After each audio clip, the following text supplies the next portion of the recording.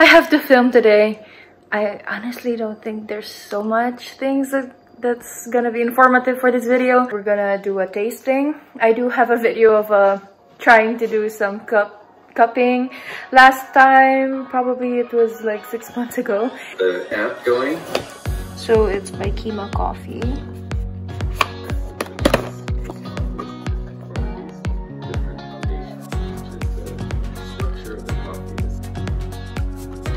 And they sent, um, ooh, this is beautiful.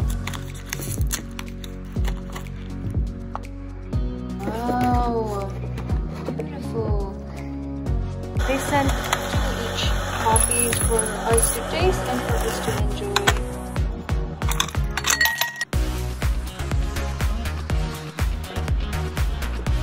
I should have prepped this earlier.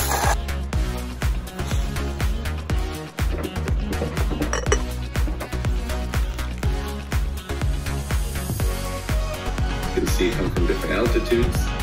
They're from different uh, genetic varieties and in different parts of the country. So a fair coffee um, is a good comment. I think it's worth it. The packaging is beautiful. Okay, so I'm done cupping and I like the, this experience. These online cuppings, it's a really good opportunity to be part of these. It was a rule in the kitchen that I have to taste everything. When we would have service during the evening, I don't eat dinner anymore because I have to taste every single dish. And you know, I think that's the version of coffee. In order for us to improve the way that we taste and describe what we we're having, we have to just keep on tasting. It isn't cheap, honestly, but you have to save for it if you really want to try these and to improve the way that you taste coffee. It's also an amazing experience. Where else could you try them? It's not like I'm going to Yemen just to try their coffee, but who knows.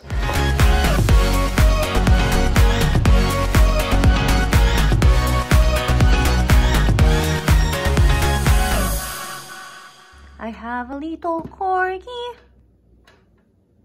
short and stout. Here is her paw. Wow.